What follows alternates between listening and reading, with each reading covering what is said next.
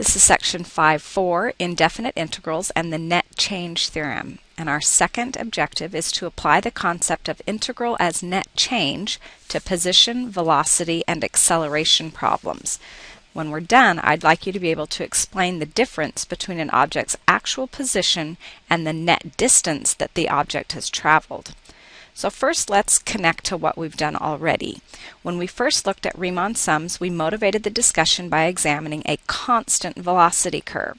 So we had this v of t that was a horizontal line, and when we accumulated from a to b, on that velocity curve, we got the area under the curve, and that area represented the net and total distance that was traveled. The next thing we did is we extended the application to irregular but still positive velocity functions, and we again connected that net and total distance to the area beneath the curve. So what happens when the velocity is not strictly positive? Remember, velocity tells you how you're moving. So you can move right and then left. And so when that happens, that velocity curve is sometimes above the x-axis and sometimes it's below the x-axis. So when that happens, the net distance, which is also known as the displacement, and the total distance will no longer equal each other. To help make sense of this, I want to look at this picture of a velocity function where it is sometimes positive and sometimes negative, and I want to think about our old definition of displacement. We did displacement before in chapters 3 and 4, and when we did it, we always talked about where we ended up minus where we started. So in this particular case, we would take the position when time is c and subtract the position when time is a. Well, we don't have the position curve. All we've got is the velocity curve. So we're going to think about the relationship between position and velocity. Remember that position is the antiderivative of velocity. So that fundamental theorem of calculus would say that if I integrate from A to C on the velocity curve, then answering this question would be what did I take the derivative of with respect to time that gave me the velocity? And the answer would be the position function evaluated at c minus the position function evaluated at a. So this accumulation here represents the displacement or the net distance. Total distance is going to be like an odometer reading. So when you drive to Salt Lake and then come back from Salt Lake, your net distance will be nothing because if you start at home and end at home, you haven't gone anywhere. Where you end minus where you start will be zero, but you've added a lot of mileage onto your odometer. So with total distance, we have to think in terms of total area that is trapped between the velocity function and the t-axis. So to do this one, doing total distance will be like when we're computing the areas. So that will be the accumulation from a to b on that velocity function. And then we have to subtract the negative accumulation from b to c on that velocity function. So whatever we have underneath, we'll need to take the opposite of it to convert it to a positive odometer reading. Or if we have a calculator, we can just go from A to C on the absolute value of that velocity curve. With example 1 without a calculator, we are given v of t is negative 2t plus 2 and we're on the interval from 0 to 3 and we want to let s of 0 equal 3. Our job is to find the net distance traveled by the particle. So the old way to do this would be using antiderivatives because the net distance, if you remember from section 410, was where we end up minus where we started. So in this case, since we're ending when time equals 3 and we're starting when time equals 0, this is what we're going to be computing. In order to find that, we will need to know what the position function is. So we ask ourselves, what did I take the derivative of that gave me this? Well, that would be negative 2t squared over 2 plus 2t plus some constant. Simplify that, I get a negative t squared plus 2t plus some constant. And remember that we nail down the constant by using the point. So I can say the output is 3 when the input is 0. Solve for c, you get c equals 3. So now we have our position at any time will be a negative t squared plus 2t plus 3 And we can figure out that s of 0 is going to be 3, and s of 3 will be negative 9 plus 9. So if we want the difference between them, the displacement, we'll have s of 3, which was 0, minus s of 0, which was 3, and that gives me a 3 units to the left. And that displacement equals negative 3. So now the new way, using what we know about definite integrals, is that displacement is going to be just the simple accumulation from 0 to 3 on that derivative. If I answer the question, what did I take the derivative of with respect to t that gave me this inside, I'll get that negative t squared plus 2t. And remember, when I'm evaluating definite integrals, I can use any antiderivative that I want and simply evaluate at the top minus the evaluation at the bottom. And I end up with that same negative 3. If we do part B now, where we want to find the total distance traveled by the particle, we have to think about the odometer reading. So no matter which direction we're going, we are still accumulating mileage on the odometer. So that means we need to pay attention to the direction. We need to think about when the particle is stopping and when it's backing up versus moving forward. So remember that it's the velocity that tells you when things are moving forward or backwards or stopping. So we're interested in first looking at when that velocity function, which was negative 2 plus 2t plus 2, when that equals 0. That happens when t is 1. So that means we're going to be looking at the sign chart for the velocity function from 0 to 3, knowing that at 1 we have stopped. So prior to 1, if I plug in, say, a half, I'll get a positive value. After 1, I'm going to get a negative value. So with my position function, remember we got it from part A, it's a negative t squared plus a 2t plus a 3. We'll be interested in knowing where we are when we start, where we are when we turn around, and where we are when we end. So if I plug 0 in, we see that we started at 3. When I plug a 1 in, I have a negative 1 plus a 2 plus a 3 gives me a 4.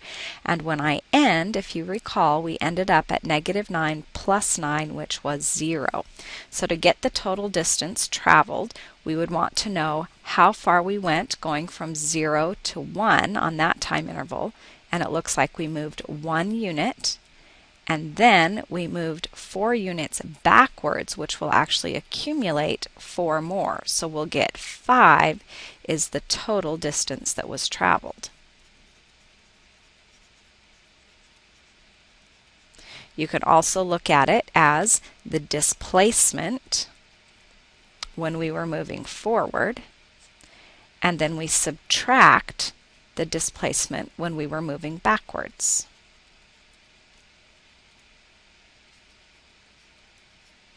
And either way we end up with that 5. So now how will we do it the new way using what we know about areas and total distance? Well, we know that the area that is accumulated is going to be the same as the total distance. So we have to make sure that our integral is either left alone if that accumulation is positive or that we take the opposite of it if that accumulation is negative.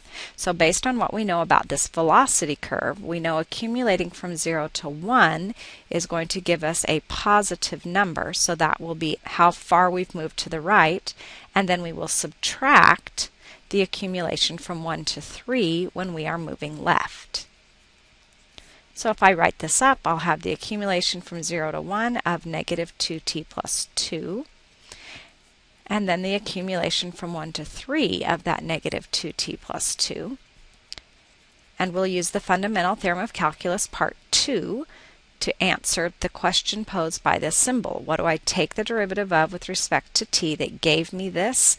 Well, that's a negative t squared plus 2t. And remember, we can give it any antiderivative. If it's a definite integral, we can choose any antiderivative and then simply evaluate from 0 to 1. And we can do the same thing over here. Only this time we're evaluating from 1 to 3. If I plug in 1, I get a 1. If I plug in 0, I get a 0. Then I'm going to subtract what comes out when I plug in a 3, which is a negative 9 plus 6, minus what comes out when I plug in a 1. So I end up with that 1 minus a negative 4, which again is a 1 plus 4, or 5. Now the beauty of doing it this way is that if you have a calculator, you could also just do the straight accumulation from 0 to 3 on that absolute value function and you would get the same answer.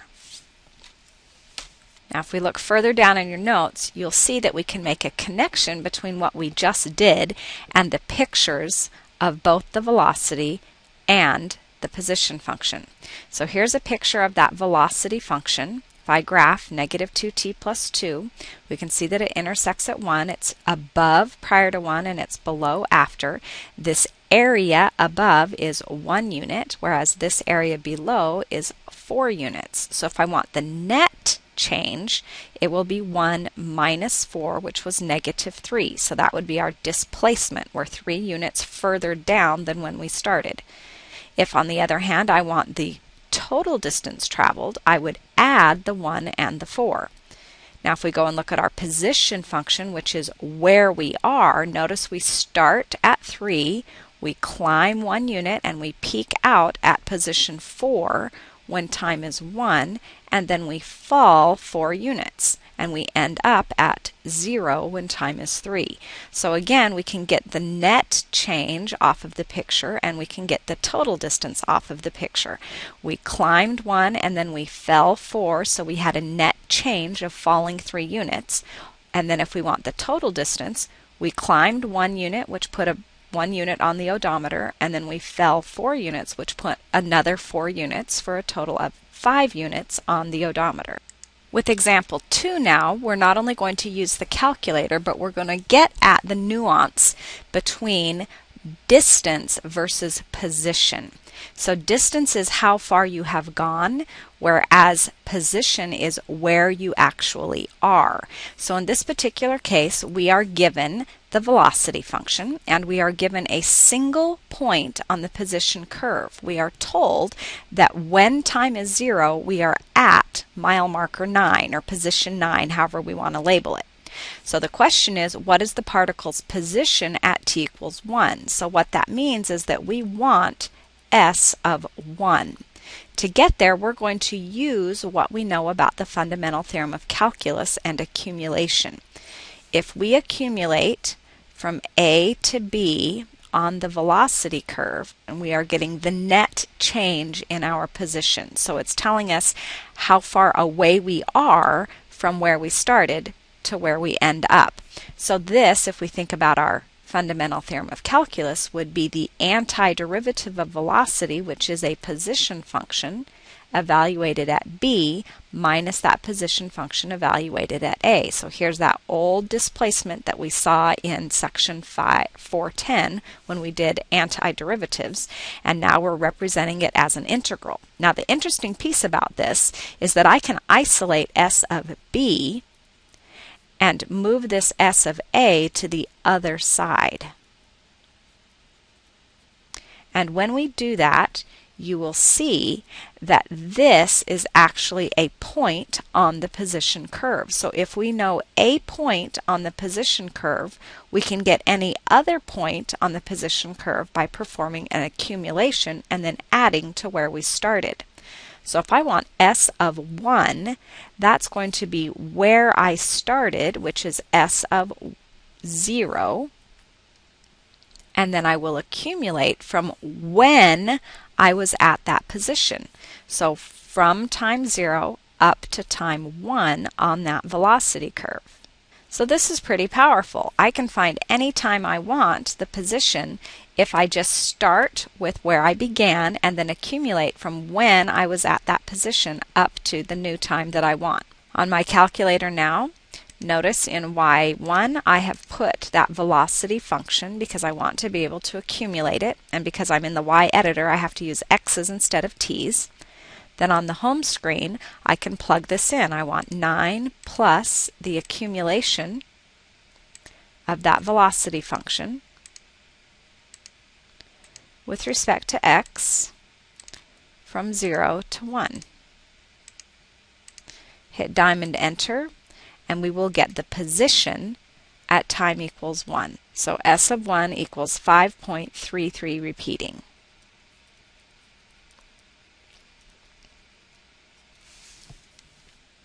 With part B, we want the displacement in the first 5 seconds. Well, that can either be S of 5 minus S of 0, or that can be the simple accumulation from 0 to 5 on that velocity function. So since we have the velocity function already in the calculator, we can just pull the calculator up and do the simple accumulation of that velocity function.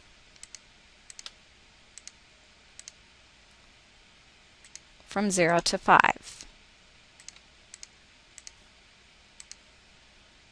And we see that the answer is exactly 35. With the final part, what is the total distance the particle travels in the first 5 seconds? Well, because we have a calculator, we can look at the accumulation from 0 to 5 of the absolute value of that velocity function. So go get the absolute value out of your catalog.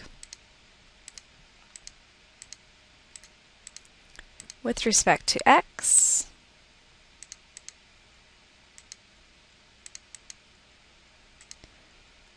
from 0 to 5. Now this one will take a little longer on your calculator because that absolute value makes it work harder. So we'll wait and we see that the total distance traveled is 42.587.